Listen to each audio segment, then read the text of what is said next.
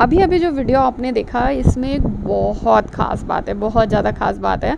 अगर आपने गौर नहीं किया तो आपको बताते हैं। वैसे आपको बता दें कि शहनाज गिल ने ये वीडियो अपलोड किया था और अपलोड करने के जस्ट एक मिनट के अंदर अंदर ही इस वीडियो को वापस डिलीट कर दिया। लेकिन ऐसा क्या हुआ कि इतने ताबड़ तोड़ में इस वीडियो को डिलीट करना पड़ा? जी हाँ क्योंकि वैसे तो शहनाज गिल एक बार वीडियो अपलोड कर देती हैं, फिर भूल जाती हैं, यानी बात खत्म। लेकिन इस बार फटाफट से वापस आकर जल्दी से इसे डिलीट किया। अब फैंस इस वीडियो को देखकर यहाँ पर ये कह रहे हैं कि इसमें सिद्धार्थ शुक्ला की आवाज़ सुनाई दे रही है, इसलिए शहनाज ने वीडियो डिलीट कर दिया है, क्योंकि इसमें सिद्धार्थ की आवाज़ आ रही है।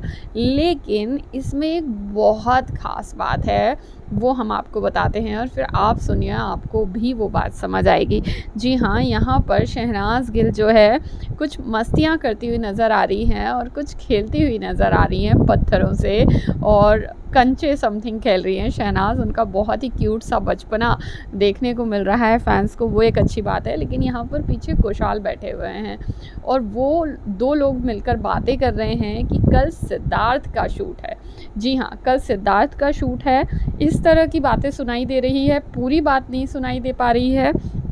या फिर वहाँ पर कैप्चर नहीं हुई है। लेकिन अब सोचने वाली बात यह है कि क्या उन्होंने पूरी बात ये कही है कि कल सिद्धार्थ और शहनाज का शूट है, यानी डब्बू रत्नानी के साथ, या फिर सिद्धार्थ का अकेले शूट है, डब्बू रत्नानी के साथ। यानी डब्बू रत्नानी, सिद्धार्थ शुक्ला का भी शूट करने वाले हैं।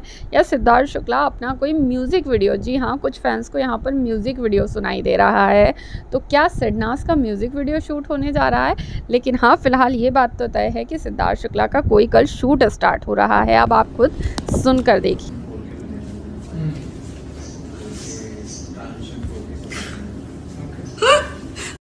So, guys, it's a wrap. Bye. Good night. Bye. Good night.